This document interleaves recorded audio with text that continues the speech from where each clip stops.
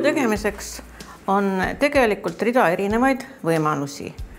tuleks vast seda silmas pidada, et kui sõlmitakse tööleping, mis meil praktikas on võib-olla kõige levinum, siis alati laieneb ka töölepingu seadus ja töötegijal on ka sotsiaalsed garantiid, see tähendab, tal on kindel tööaeg, tal on õigus puhkustele, ta saab igakuuliselt töötasu, haigekassa ja muu selle sarnane.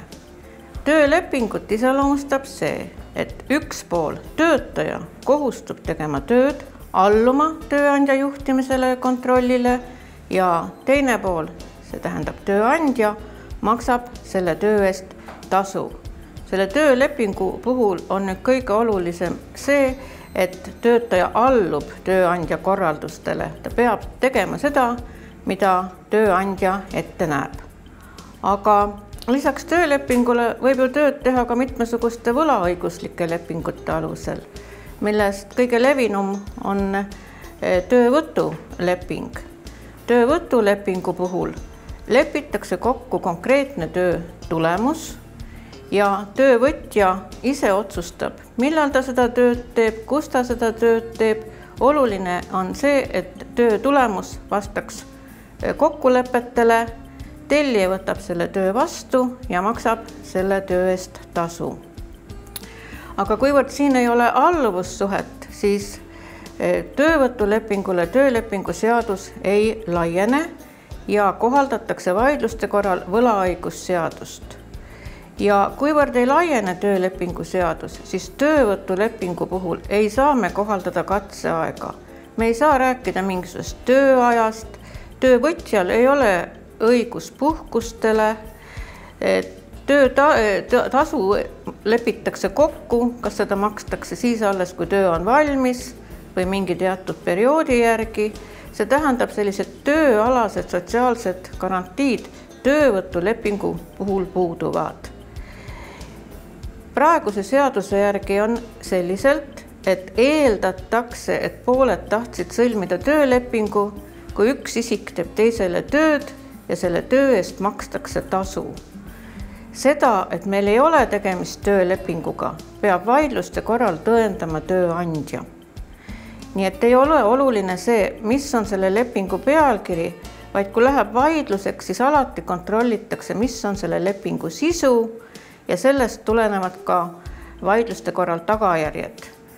kui töövõtja näiteks vaidlustab selle lepingu ja kontrollimisel näiteks kohtus või töövaidluskomisjonis selgub, et on olemas alluvussuhe, igakuuliselt maksti töötasu, selle lepingu esemeks on töö tegemine tervikuna, siis otsustataksegi, et sisu poolest on tegemist töölepinguga ja kohaldatakse töölepingu seadust.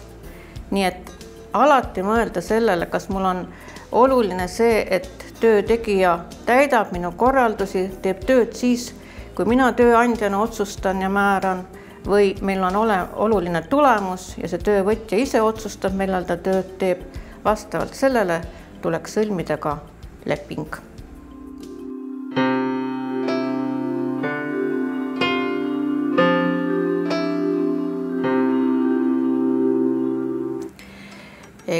tööleping tuleb sõlmida kirjalikult. kui kirjalikult on tööleping jäetud sõlmimata, siis ei tähenda seda see, et see leping on tühine, ainult selle lepingu tõestamine on märksa raskem.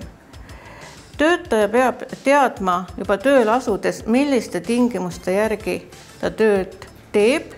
Ja need tingimused on loetletud töölepingu seaduse paragrahvis viis, mis igal juhul peavad olema töötajale kirjalikult teatavaks tehtud töötaja on töösuhetes nõrgem pool, see tähendab, et kehvemaid tingimusi, kui töölepingu seadus ette näeb, kokku leppida ei saa. ei saa näiteks kokku leppida, et töötaja puhkus on viisteist päeva, sest seadus ütleb, et puhkus on kakskümmend kaheksa kalendripäeva. küll aga võib alati töötaja jaoks kokku leppida soodsamaid sätteid see tähendab, et võime näiteks kokku leppida, et meie firmas on puhkuse kestuseks kolmkümmend kalendripäeva. töölepingu lõpetamine saab toimuda üksnes seaduses ette nähtud alustel ja seaduses ette nähtud korras. ja seda peab siis tööandja silmas pidama.